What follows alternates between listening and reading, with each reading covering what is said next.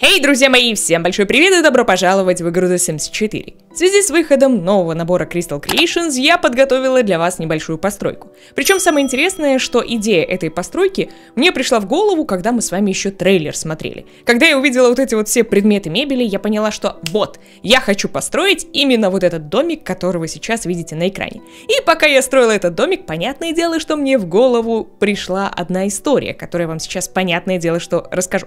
Так что, друзья, мои, бегом заваривайте кавуську, хватайте смаколики, а я вам расскажу, кто же будет жить в этом домике.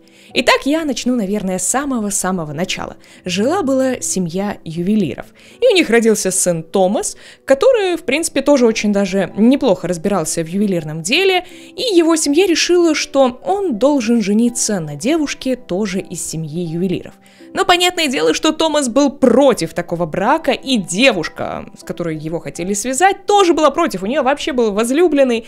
И когда они встретились, они решили, что нужно как бы помешать вот этому браку, тем более, что девушка действительно хотела выйти замуж за другого. Томас решил, что он не сможет переубедить родителей, и решил, что ему нужно уехать. Он достаточно много путешествовал, побывал в различных городах и решил поселиться в Винденбурге. Как вы знаете, Винденбург достаточно большой городок, городок, он такой очень тихий, но он не маленький, тут было и так уже достаточно ювелиров. Когда сюда приехал Томас, он понял, что ему придется постараться, потому что, в принципе, он собирался продолжить свое дело, он собирался также дальше заниматься ювелирными изделиями, но ему нужно было здесь как-то пропихнуться, что ли, потому что, ну, зачем в этом городке еще один ювелир, о котором никто не знает.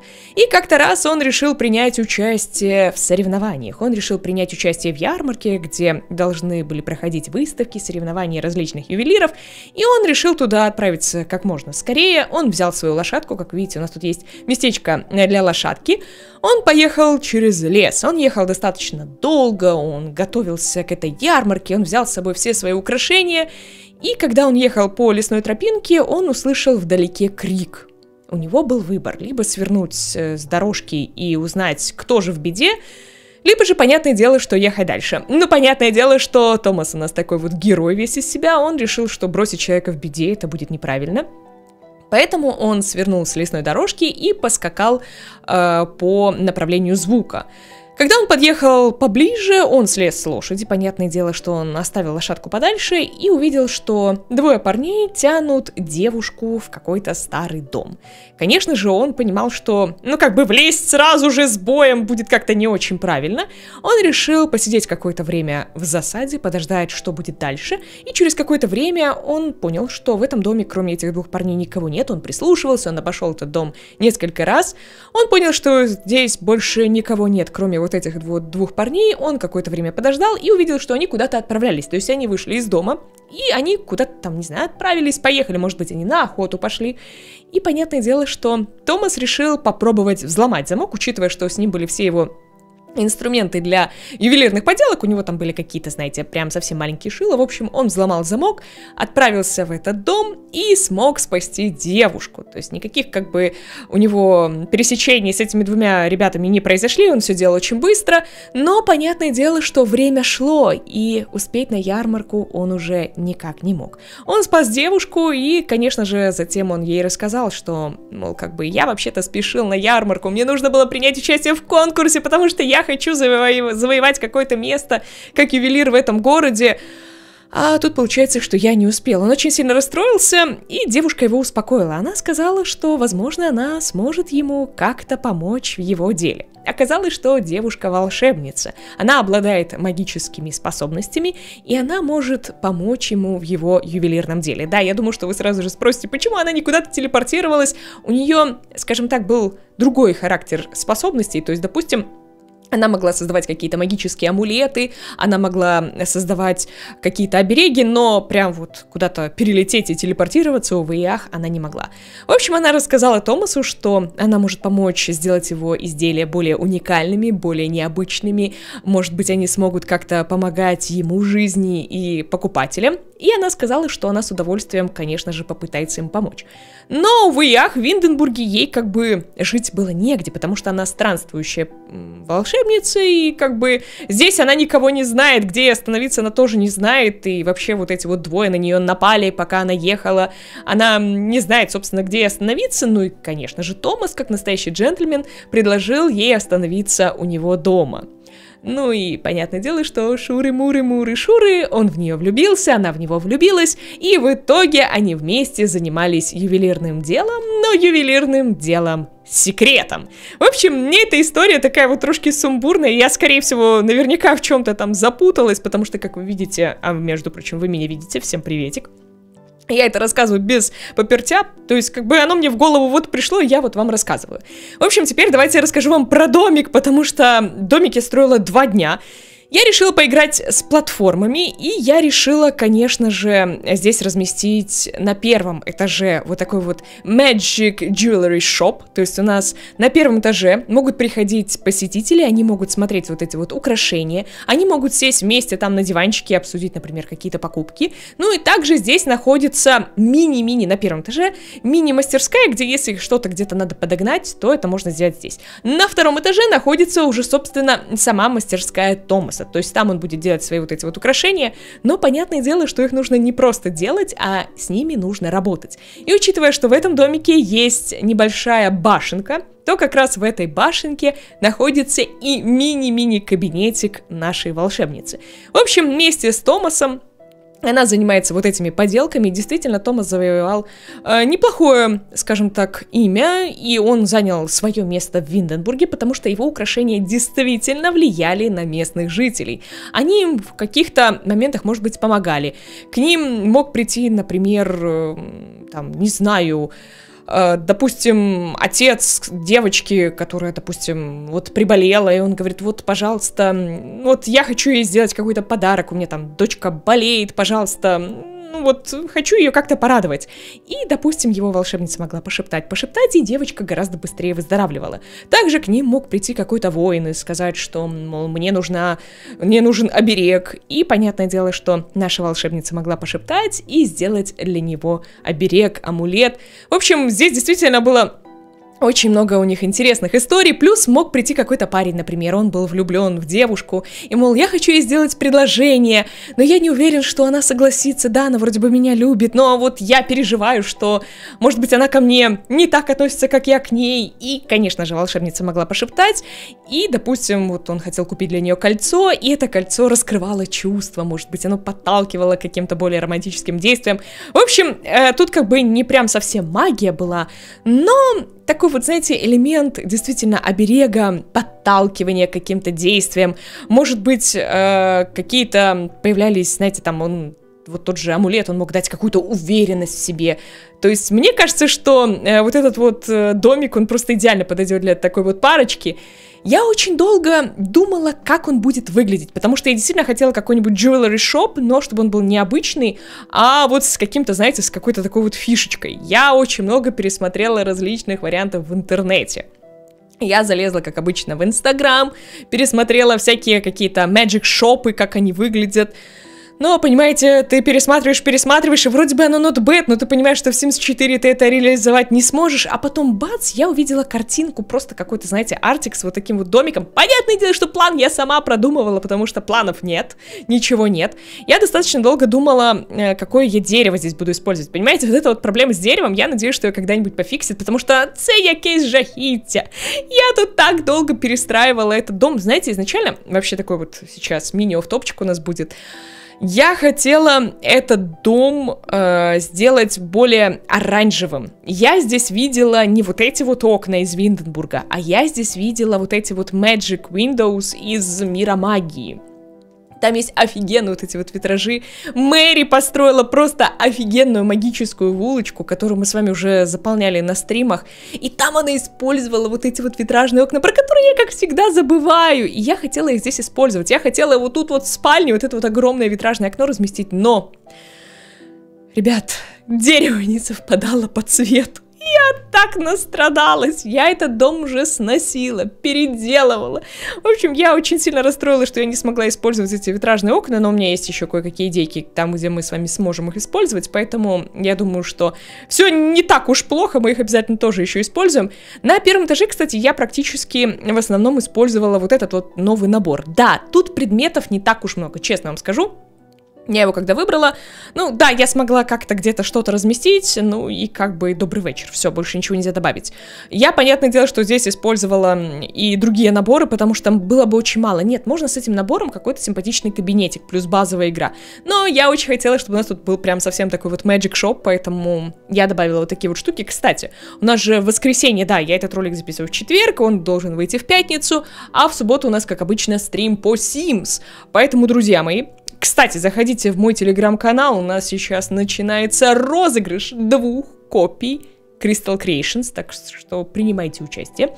В общем, я думаю, что в субботу мы с вами тоже построим что-нибудь такое вот э, связанное с магией. Мне как-то, знаете, последним временем прям очень эта тема прям прет. Мне очень нравится что-то такое вот волшебное строить. Вы знаете, что я люблю затерто-потертые постройки. А что, как нельзя, кстати, у нас относится к затерто-потертому? Вот такие вот какие-то старинные домики. Может быть, у вас есть какая-то интересная идейка, может быть, у вас есть какая-то интересная семейка, для кого мы можем построить какой-нибудь симпатичный домик. У меня есть несколько идей, опять-таки, где мы с вами, с вами сможем это все использовать.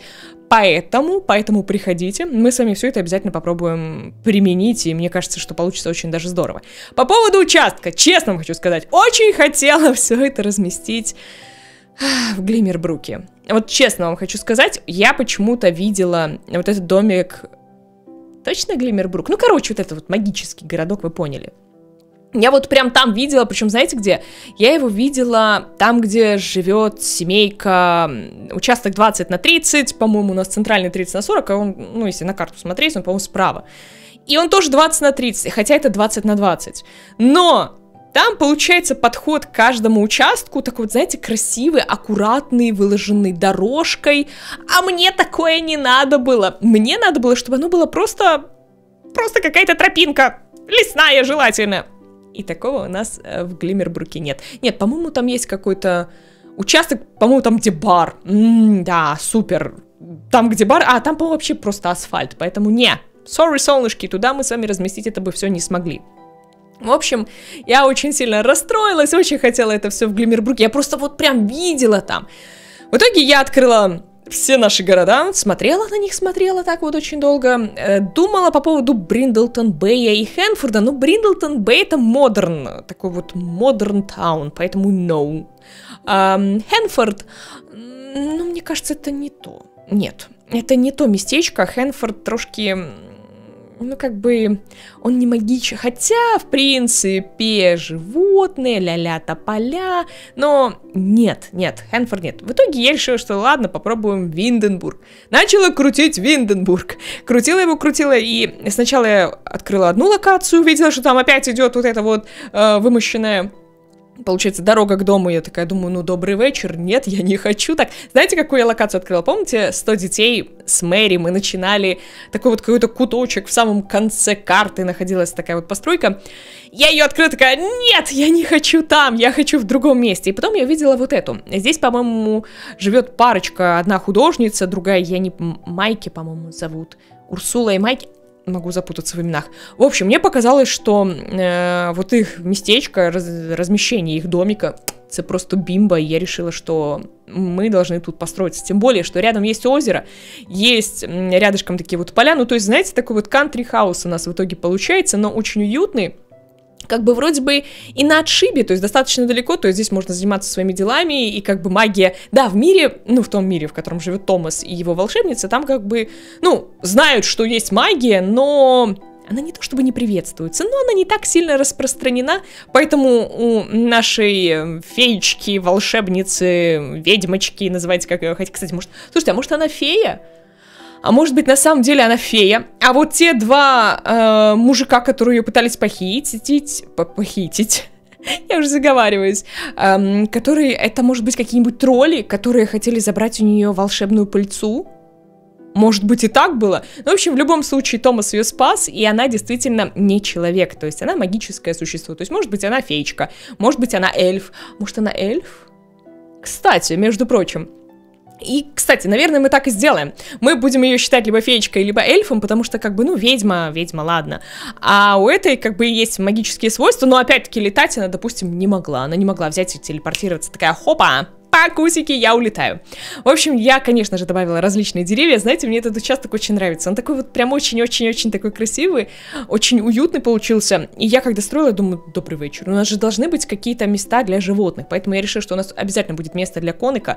Я, кстати, сначала хотела использовать навес. Навес, который у нас есть в игре.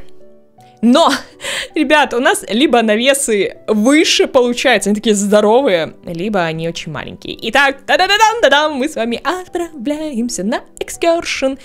И вуаля, друзья мои, вот такой вот у нас получился домик. У нас есть местечко, где можно что-то выращивать, можно медиком заниматься, можно, между прочим, нектаром заниматься. Также у нас есть местечко для лошадки, ну а сейчас мы с вами заходим и попадаем в нашу магичную крамничку. Значит, на первом этаже ювелирные изделия, которые делает Томас. А, не факт, что они все заряжены, тут уже надо спрашивать у ее подружки, что из этих предметов заряжено, что нет. То есть большая часть это просто обычные ювелирные украшения. Это книга-каталог, допустим, кристаллов. Здесь вы можете увидеть и уже готовые изделия, и вы можете увидеть, что здесь у нас, допустим, кристаллы, которые вы можете использовать. Это ширма просто, чтобы перекрыть проход. Кстати, я добавила вот эти вот светильники, они мне прям капец капец как понравились. Тут у нас место для обсуждений, то есть если приходит клиент, можно здесь сесть, посидеть, полялякать, обсудить, что вы хотите заказать. Вот у нас есть еще одно украшение. Тут у нас такой вот мини-рабочий кабинетик для того, чтобы, допустим, подогнать какое-то украшение, то есть какую-то ну, минимальную работу сделать.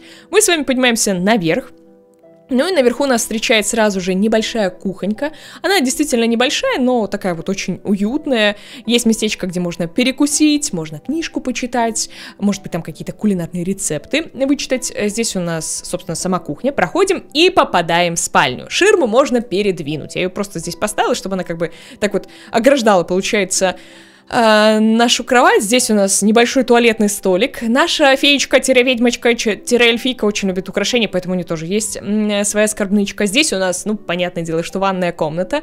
На втором этаже движемся с вами дальше, и здесь у нас вот это уже рабочий кабинет Томаса. То есть тут он именно занимается изготовлением, и вот видите, как раз он подготовил вот такое вот очень красивое украшение, которое в итоге будет заряжать его девушка. Ну и здесь у нас тоже, видите, всякие украшения, здесь, может быть, они обсуждают какие-то дизайны. Понятное дело, что его мадемуазель иногда принимает участие в разработке ювелирных украшений, но она не то чтобы в этом не шарит. Ну, как бы, ее сторона магия. Хотя она ему делает тоже всякие подсказки. Ну и тут ее небольшой-небольшой кабинетик. У нее есть магическое зеркало, у нее вот тут тоже есть кристаллы, может быть какие-то травы, может быть ей это тоже все надо для э, приготовления. Ну и здесь маленький-маленький балкончик для того, чтобы заряжать изделия. Ну что, ребят, вот такая вот сумбурная история у нас получилась. Вот такой вот домик у нас вышел. Он мне капец как нравится. Если вы хотите, чтобы я его добавила в галерею, то обязательно поддержите ролик лайком. Давайте соберем полторы тысячи лайков, и я добавлю его в галерею. Надеюсь, вам было интересно, надеюсь, вам понравилось. Подписывайтесь на мой канал, если еще не подписаны. До скорых встреч. Пока-пока.